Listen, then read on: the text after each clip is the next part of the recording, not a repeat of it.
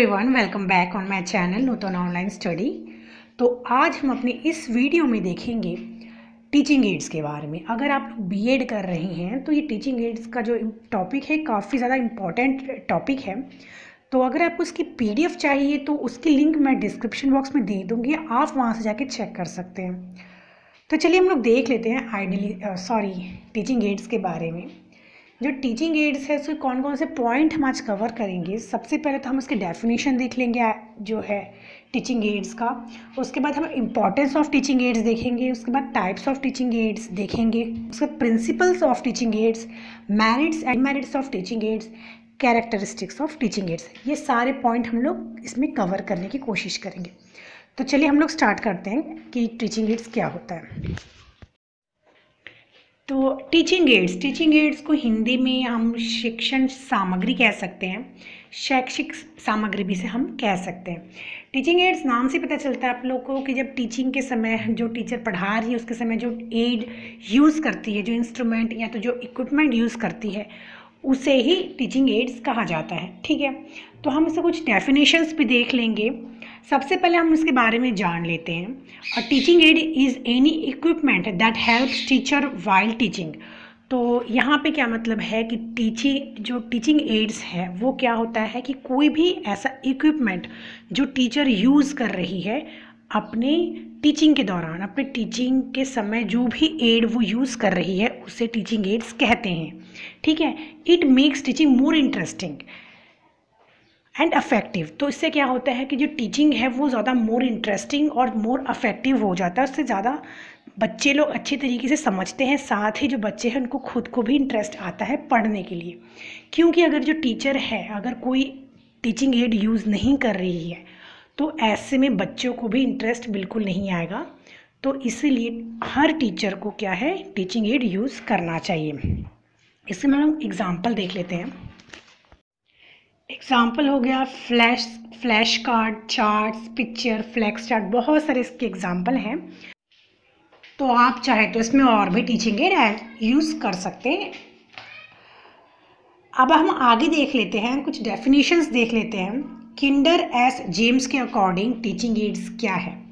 Audio visual aids are any device which can be use to make learning experience more concrete more elastic and more dynamic तो Kinder के according क्या है कि जो audio visual add है, उससे क्या होता है कि जो टीचिंग है, वो ज़्यादा कॉन्क्रीट ज़्यादा रियलिस्टिक और डायनेमिक यानी ज़्यादा वास्तविक, ज़्यादा सजीव और ज़्यादा साकार लगता है। यानी कि अगर हम बिना ऑडियो विजुअल एड के पढ़ाएँगे बच्चों को तो उसमें वास्तविकता नज़र नहीं आएगी। लेकिन अगर हम टीचिंग एड यूज़ कर रहे हैं, हम ऑडियो विजुअल एड यूज़ कर रहे हैं तो उससे क्या होता है कि बच्चे लोग को उसमें वास्तविकता रियल रियलिस्टिक उसमें नज़र आता है।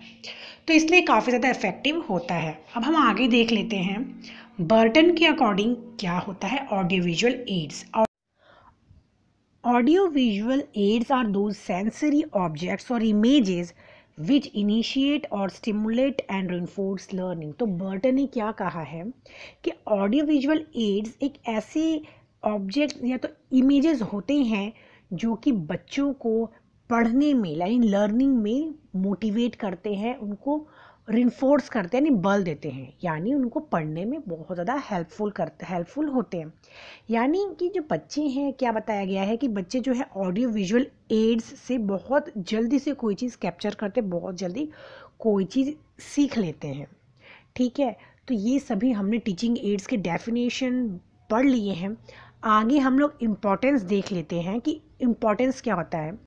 तो इसके इम्पोर्टेंस के बारे में, इसके महत्व के बारे में जोसेफ का क्या कहना है? जोसेफ जे वेबस्टर का क्या कहना है? हम लोग देख लेते हैं। According to Joseph J Weber our perception about various thing is based forty percent on visual twenty five percent on audio seventeen percent on touch fifteen percent on other physical experience three percent on taste and smell यहाँ, यानी आप यहाँ से देख सकते हैं कि Joseph J weber ने क्या कहा है कि जो विजुअल है, यानी बच्चे जो है फोर्टी परसेंट यानी यहाँ पे सबसे ज़्यादा परसेंट किसका बताया गया? विजुअल यानी बच्चे कोई चीज़ देख के जल्दी सीख लेते हैं। उसके बाद उन्होंने बताया है कि विजुअल यानी कि वो बच्चे सॉरी ऑडियो ऑडियो से बच्चा कितना सीखता है? ट्वेंटी फाइव परसेंट यानी ट्वेंटी फाइव परसेंट उसको उन्होंने बताया है। सबसे फ़र्स्ट फोर्टी परसेंट सबसे सेकंड ऑडियो यानी कि यहाँ पे हम देख सकते हैं कि जोसेफ जे वेबर का क्या मानना है कि ऑडियो विजुअल एड से बच्चा बहुत जल्दी कोई चीज़ सीखता है। उसके आगे चलो हम लोग देख लेते हैं।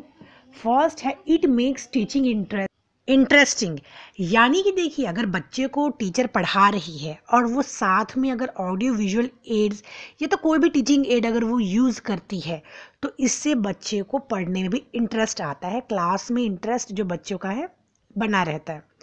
अदरवाइज़ बच्चे क्या हो जाएँगे? अगर उनको कोई ऑडियो विजुअल एड्स है तो कोई टीचिंग एड्स नहीं पढ़ा मतलब नहीं शो करते हैं तो बच्चे क्या होंगे? बहुत ही बोर फील करेंगे क्लास में। इसीलिए टीचिंग एड्स का बहुत ज़्यादा इम्पोर्टेंस होता है। अब सेकंड देखते हैं। सेकंड है मोटिवेशन यानी जो ऑडियो विजुअल एड्स या तो जो टीचिंग एड्स है, वो बच्चे को मोटिवेट भी करता है पढ़ने के लिए। ठीक है? थर्ड देखते हैं अंडरस्टैंडिंग तो जैसे कि हमको पता है ये बच्चे लोग क्या कर लेते हैं, अगर हम उनको टीचिंग एड्स के साथ पढ़ा रहे हैं तो बच्चे बहुत जल्दी कोई चीज़ कैप्चर करते हैं, बहुत जल्दी जो बच्चे हैं वो सीखते हैं. क्योंकि बच्चे जो क्या है, अगर देखते हैं और सुनते हैं, कोई चीज़, बच्चे जो अगर देखते हैं, सुनते हैं तो वो चीज़ वो जल्द बच्चे क्या करते हैं, जल्दी से सीख लेते हैं. फोर्थ देखते हैं अवॉइडिंग बोर्डम तो क्या होता है, इससे क्या होता है, बच्चे बोर नहीं होती हैं क्लास में। यानी जो टीचर है वो सिर्फ़ पढ़ा रहे हैं टेक्स्ट बुक से पढ़ा रहे हैं और कोई टीचिंग एड यूज़ नहीं कर रहे हैं। तो ऐसे में क्या होता है, बच्चे बोर हो जाते हैं। तो अगर टीचर टीचिंग एड यूज़ कर रही है तो क्लास में बोर्डम नहीं होता है। फिफ्थ देखते हैं, स्टूडेंट्स लर्न ईजीली तो बच्चे क्या करते हैं, टीचिंग एड्स की हेल्प से जो स्टूडेंट्स हैं जल्दी सीख लेते हैं कोई चीज़। सिक्स देखते हैं, कैप्चर अटेंशन। तो जो टीचिंग एड है, वो क्या करते हैं? बच्चों का जो ध्यान अपनी तरफ़ आकर्षित करता है। क्योंकि अगर टीचिंग एड अगर कोई टीचर यूज़ कर रही है तो इससे जो बच्चे क्या करते हैं? बहुत ज़्यादा मतलब सीखने के लिए तैयार रहते हैं और जो टीचिंग एड क्या करता है? वो अपनी तरफ़ उनका ध्यान कर लेता है, ठीक है? अब हम आगे देखेंगे, आगे हम देखेंगे टाइप्स ऑफ़ टीचिंग एड्स तो टीचिंग एड्स को थ्री ग्रुप में डिवाइड किया गया है। देख सकते हैं आप।